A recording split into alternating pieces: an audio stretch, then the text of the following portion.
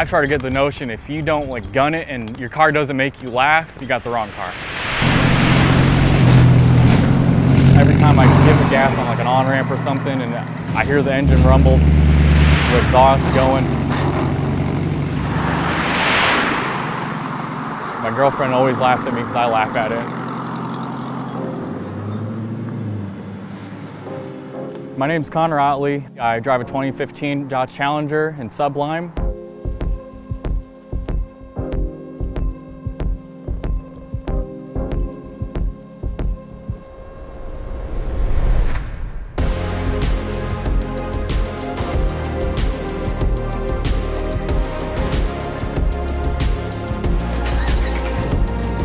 What I got on this is I got a one inch lowering kit on the front and back. I did switch out the tires. I do got some drag radials on the back, but I can't, can't use them right now, so I just got my normal street tires. The stock exhaust is a little bit too heavy, a little bit too quiet, so I full straight piped it. Upgraded the intake, did the Hellcat intake box, upgraded a little bit into the engine, tuned it a little bit more, did the DiabloSport Tuner.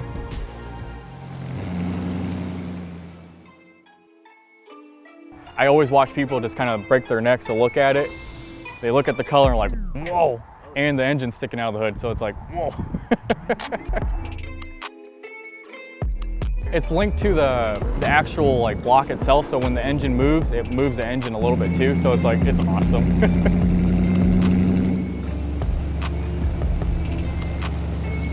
I usually have the ProClip at like right next to me. I usually have a phone or like I have my little programmer tuner and it does not move. My dad actually recommended it to me. And I was like checking out ProClip, checking out the website and I was like, all right, I want that one. I was like, it was this night and day difference. The ProClip just stays there, doesn't move. Like I can switch it between like my phone and the, the tuner and just have all the feedback and just know that it's secure and it's not gonna move.